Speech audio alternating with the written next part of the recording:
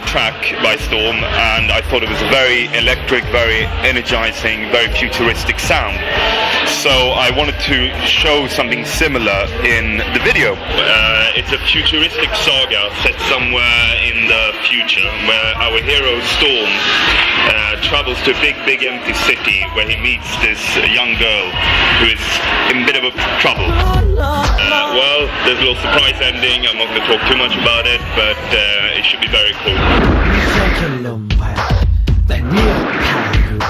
You know what I mean.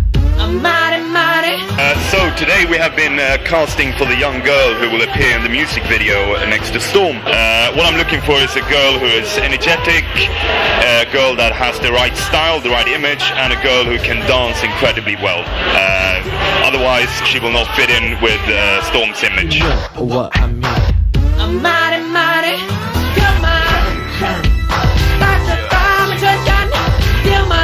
The problem with casting a girl next to Storm is that you need to have a girl who is as good of a dancer and has the same charisma and energy that he has, which is not always so easy. ไม่ใช่แค่ลมพัดพายุนะครับพายุ You know what I วัน mean นี้นะครับก็มาคัดเลือกนางเอก MV ยังเหนื่อยอยู่เลยผ่านเข้ามาสี่คนสุดท้ายก็ได้เต้นแข่งไปแล้วนะครับ ได้เต้นแบทเทิลกันครับ แต่ทุกคนน่ารักและก็เต้นเก่งทุกคนเลยครับเดี๋ยวมันตาจะตามาช่วยกันเดี๋ยวมัน